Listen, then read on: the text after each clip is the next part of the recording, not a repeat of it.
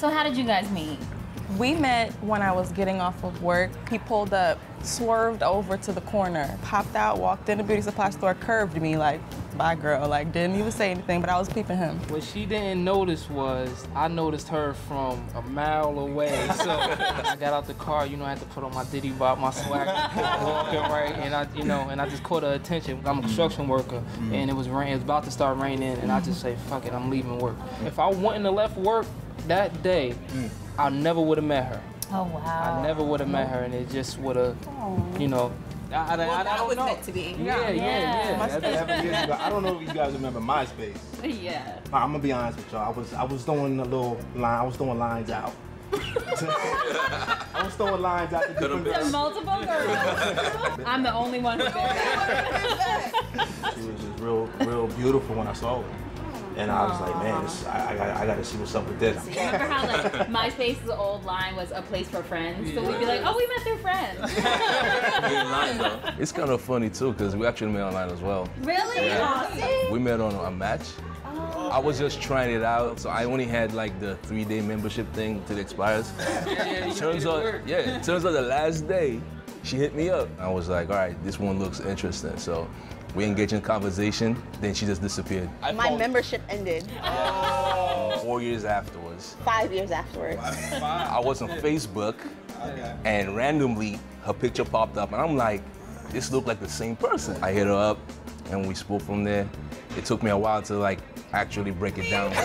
what he's not telling you is that he didn't tell me at first. So we spoke back and forth for like three weeks before you oh. told me. Oh, because he remembered me and I didn't remember him. But, but Now I'm not gonna tell him what you told me after the. Oh my gosh, he loves to I'm say gonna that. tell him that. He loves to say that I said that I loved him the first Listen. day. I think I said something like, I could see myself really falling in love with you.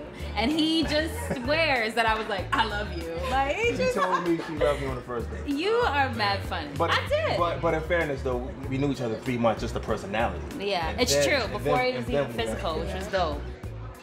So we had our first date, just impromptu. I think I texted him or he texted me, and we linked up. Is that how it went? I text you. She is a very busy woman. So I told her that I'm coming to Harlem for some reason. Just lied to say I'm coming out there. Hey, you want to meet up? While we was walking and talking, um, we see some African um, Oh, the drum drum players playing on the drum. So I just started dancing to the beat and, I walked and in front of the drummers, started really getting it, dancing. you know, I think that's what won her over the moves, the little hip movement. that was doing, you know, and plus I was wearing sweatpants, so she was like, oh, I like that. you see, you see by her lip, it's okay. you remember what your ladies were wearing on the first date? Yeah, I can remember. I think it was a green coat or something. She was wearing high heels and uh, I think black jeans. I pull up and he's already standing in front of the restaurant and there's a huge puddle of like melted snow. And I'm like, are you are you gonna help me out of the car? And he's just standing there like, and then he goes, oh, oh yes, yes. I was like struck. I was just looking at her. I was studying every detail about her. You know what I'm saying? Oh yeah, no, he had on some really baggy jeans. He had his blazer on, but he had on top of it he had a big like puffer coat on top like a puppy. Her, she really did transform my, my style. So when I when I first met, I was real. I was DMX. Same here, same here. So funny. Everything, her. The shirt, her. The pants, her. her. We had a really good first date and I thought that there could be potential there. Um, I think I also thought that he was going to be a ladies' man, so I had to play like the whole long tail game. It was a first, you know what I'm saying? So it definitely caught my interest. Yes. So So it made me pursue even harder. I knew that there was something there. I just didn't know what it was. Um, I did. No, I was really into Dave. Like I really was. He was so patient to just go back and forth and really get to know me without anything even being physical. I was I really did feel like I was falling in love with him on the first date. Well, yeah, I knew that uh, that Allie was, she was gonna be my wife. From the first date? Actually, from the first date. Yeah. Yeah. You see how you could like go on a date with him and think where it was a husband material. Like he's I really mean, he's such a great person. When he came to me with all the bravado and the, you know, confidence, I kind of thought he was a ladies' man. So I was kind of mm. worried. Did you think that we would be something? Yeah, I thought I thought that we could definitely be something. When you told me um you got a 90 day rule, and I was like, okay, I'm with it. okay, all right, I'll do it. It makes me so happy to see three men just here, like really holding their woman down, you know, and just really like uplifting because black men are demonized, black women are a lot of times ignored and not, you know, we have so much put on us. I'm not saying to not go outside your race because love is love, but there's a lot of beautiful black women out there that brothers need to start, you know what I mean, appreciating. When you have a, a power couple, I, I would say, like Michelle and Barack, um, and the children see that, black love has to set that example with our children so where we can raise them the right way. I'm originally from the Caribbean. I'm from the island of Dominica, and her background is also a little bit of West Indian.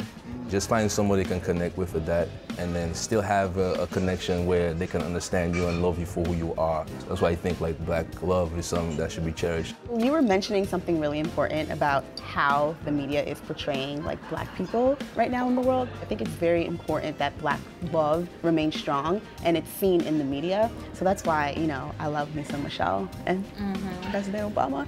I could see a future with her until I die.